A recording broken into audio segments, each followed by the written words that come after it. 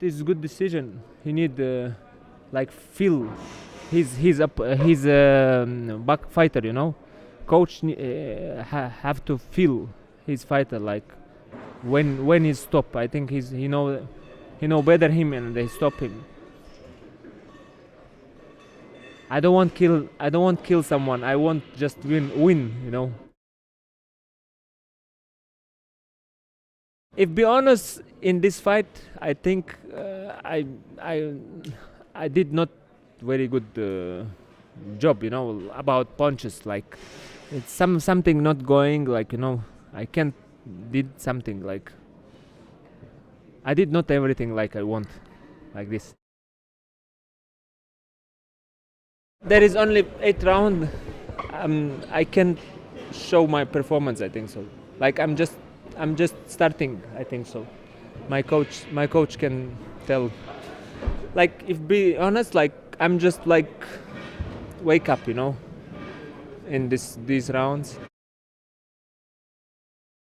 You know, when you never know how it's going. Like you can, you can have some uh, strategies, some uh, scenarios, but you never know. But he did good fight, you know. I did not bad too.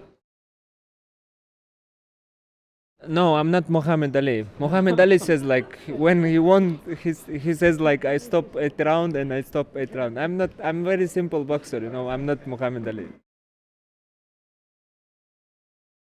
I can say it's the toughest fight, but uh, he's good, you know. He's good. He did good good job.